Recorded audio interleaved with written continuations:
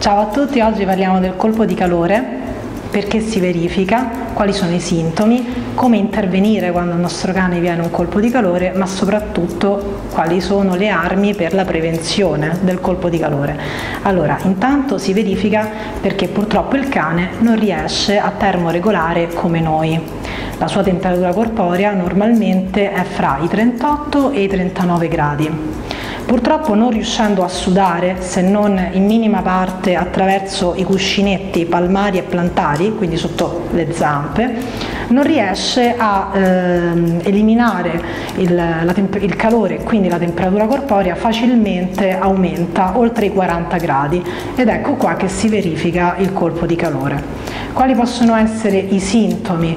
Intanto il cane comincia a respirare molto più frequentemente, questo si chiama polipnea, a bocca aperta, aumenta la salivazione, tende a barcollare fino anche ad avere delle crisi convulsive, degli svenimenti, aumenta la mm, frequenza cardiaca.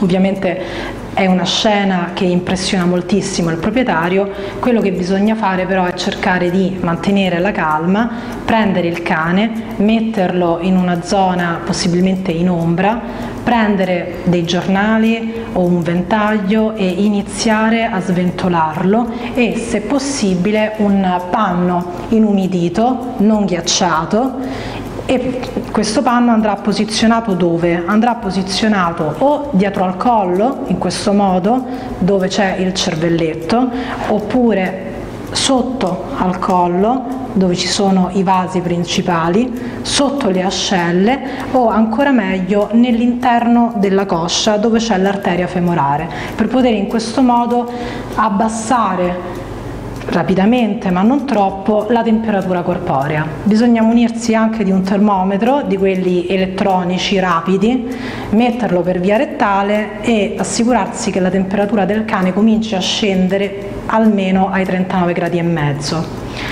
Fatto questo, la cosa più importante è comunque recarsi dal medico veterinario per eseguire una serie di accertamenti, di esami ematobiochimici, in quanto il colpo di calore potrebbe determinare delle alterazioni sui nostri organi, cioè a livello epatico, a livello renale, per cui è necessario fare degli accertamenti.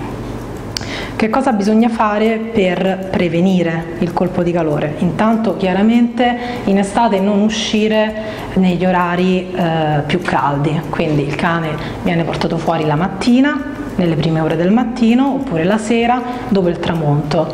Non deve affaticarsi troppo, correre o giocare nelle ore pomeridiane, un po' come per, per i bambini, bisogna avere lo stesso tipo di accortezza. Non bisogna lasciare il cane in macchina neanche per pochi minuti, proprio per questa sua incapacità diciamo, di termoregolare e soprattutto mantenere a disposizione dell'acqua fredda, non ghiacciata, non gelata. Le razze che sono maggiormente predisposte a questo tipo di, eh, di problematica sono sicuramente i cani eh, brachicefali, cioè quei cani che hanno una, eh, un muso una conformazione del muso molto schiacciata e non riescono a respirare adeguatamente. Anche i soggetti un pochino anziani come il piso, oppure i soggetti giovani che non riescono a termoregolare come un cane eh, adulto, un giovane adulto. Spero che il video sia stato chiaro, per qualsiasi ulteriore informazione potete scrivere sotto un commento.